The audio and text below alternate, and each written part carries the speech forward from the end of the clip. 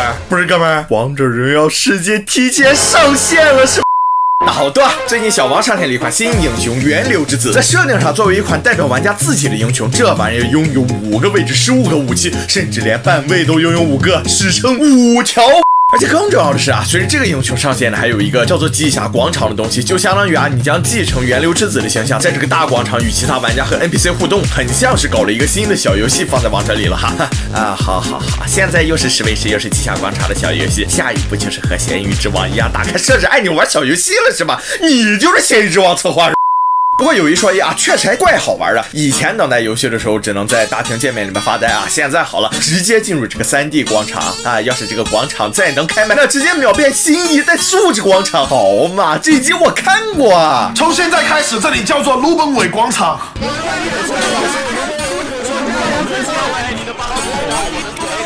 当然，这个英雄能走五条分路意味着什么？那就意味着你买一个皮肤就能分五份用，甚至还能有十五把武器。这样算算啊，那那那那四百块的无双皮肤分到呃五个分路上，那那那那就相当于八十块买一个无双皮肤，比史诗都赚。但是，sorry 啦，买不着的啦。现在我们皮肤变饰品啦，有钱就是可以为所欲为的啦。上半身、下半身、耳环、面饰、背饰，全部都给你安排明白了。这种装饰感，下一步就有一种一刀九九九，细兄弟就来砍我的感觉啦。当然。啦，要 C 类目佩服啦，嘿嘿，哎，那你倒也可以和那在在对抗路的老亚瑟碰一碰，属于是兄弟兵戎相见了。当然，系统也送了一套套装，对，哎哎哎呀嘞，这不是俺山东的大葱吗？嫩绿嫩绿。